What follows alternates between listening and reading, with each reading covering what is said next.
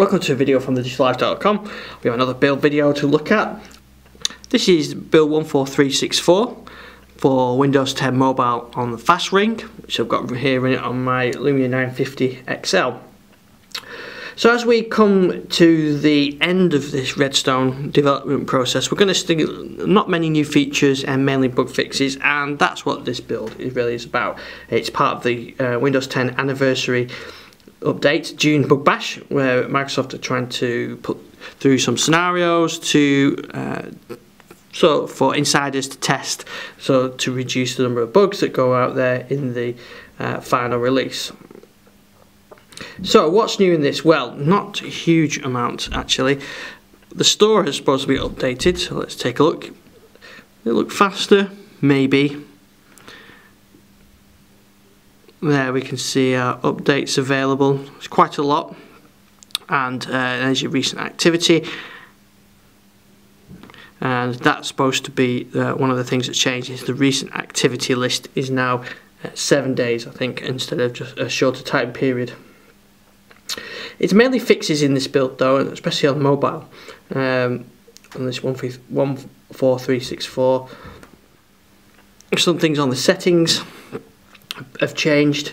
Uh, they're tightening the spacing and the layouts they said to improve the look of the settings screen. I'm not sure we can probably really see anything.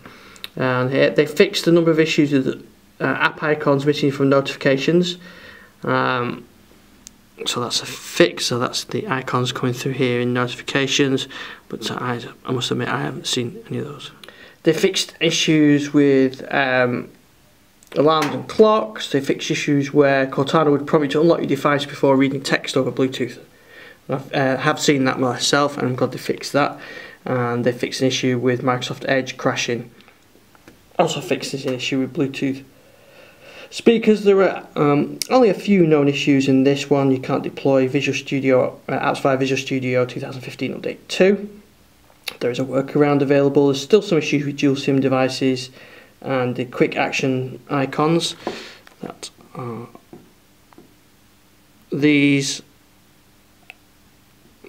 may have moved around said um, since the last build so you can uh, manually change those and move those around. Uh, and then they shouldn't get, happen um, they shouldn't rearrange again when it comes to the next build. So that's it really. There's not a huge amount in this build for uh, for mobile. This is 143 uh, 64. It's just two behind the PC build at the moment, 14366 on the PC.